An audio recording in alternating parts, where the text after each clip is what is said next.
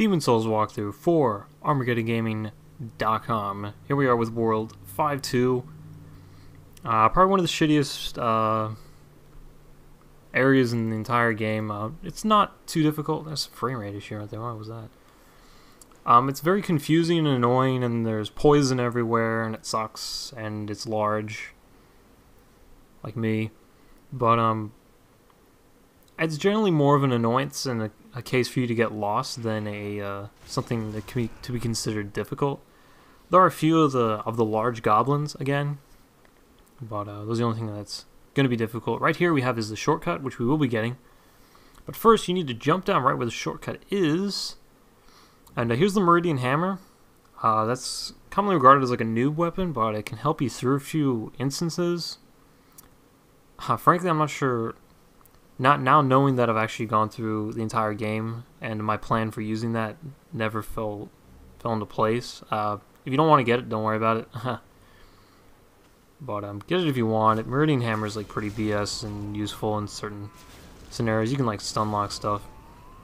But as you can see, I do have my black leather again. And I believe I'm using the Ring of Poison Resistance because there's a lot of poison. Walking in this water for long enough will poison you. And uh, you can't roll, you can't do anything inside the water, so um, before you go into the water, I try doing a roll anyway just because it gets me a little bit extra extra boost. But uh, the way I'm going to be showing you to go is you need to follow it very well because it's easy to get lost and I'm trying to keep you out of the poison goo as much as possible.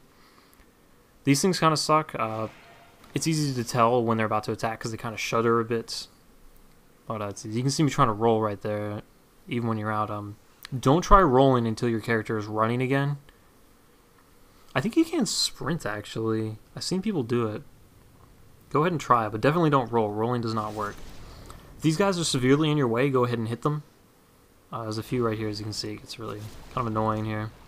But try to time it just right. It's not too bad. They don't even hurt that much, but uh, you definitely want to minimize poison. And uh, I decided to heal through a little bit of it first because just using that many... Shit, what's the name of the lotus? I can't remember the name of the lotus. The one that gets rid of poison. Using too many of those can be hurtful, but you can buy them from the Filthy Woman. Who we will be finding again in this map shortly. And I think even... Uh, what's his name? There's me trying to roll again. Patches sells uh, some of that, that Lotus as well. Definitely bring a lot.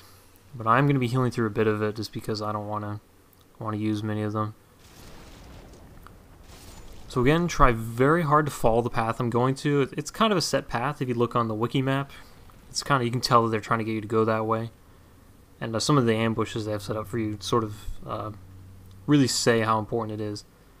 So right here, um, I'm really scared, so I am going to be using warding. Just because you can't be too careful. And there's a big guy right here. And he likes to run out at you while you're inside the goo. And if he does, you're going to be unable to roll. And that's not good, and he's going to kill you because you can't really block this guy. You can see he really... He's just the juggernaut bitch. And he pounds me to the ground a few times. I was getting kind of scared. But you need to make a get to this this area of land as quickly as possible without fighting as much or anything if you can avoid it. Because you need to be able to roll against this guy. I do decided to two-hand my weapon because uh, trying to fight him... That guy's still alive, holy shit. Trying to fight him with the shield is silly. Oh, that guy actually comes up and like knifes me in the back, I'm pretty sure. I was like, where'd this guy come from? Didn't kill him the first time. Kind of funny. But our first fog is right here, so we're getting there. We're basically going to end up having to make almost a full circle around this, this gigantic underground goo pit. But up here, it really sucks. Uh, you can fall off really easily, and if you do, you're probably going to die, so don't. There are these uh, insects, which are kind of tricky to see, so you definitely need to make sure you have arrows. About 100, and you should be okay. Uh, for these guys, because you don't really... They're very difficult to hit with melee weapons, so you just want to shoot them down. Uh, my compound longbow with like almost no dexterity is enough to kill them in one shot. Uh, there's quite a few, and they almost get me a few times. There are very uh, quite a few places here where I almost fall. I'd actually never even. This is another example. What was I shooting at? Oh, there's a guy there. Never mind. This is another example of a level I've never done until recording this. But uh, I've seen it done a hundred times. I knew exactly how to do it. It was just a case of uh, not getting killed by those really big guys. Uh, and later up ahead, there's going to be two of them. So yeah, that's going to be fun, but uh, I believe I put on the Thief's Ring, or maybe I even already have the Thief's Ring on, I don't remember. And uh, that'll be able to just draw out one at a time. And that is the only way you're going to be able to really kill two of them. Fighting two at the same time is, is bad, you don't want to do it. Yeah, that guy almost finishes me right there. I was like, oh fuck. uh, you don't want to target these guys either, because that's going to help you fall off. I almost fall off again. My character kept fucking like going to the side even though I was pressing forward. Kind of weird. Right here there are two. Oh, these guys camp, so I just decided to shoot them with arrows. They wait for you to get across that thin platform and they just all rush across and try pushing you. They suck. This platform is not fun, but at least it's somewhat better than the goo.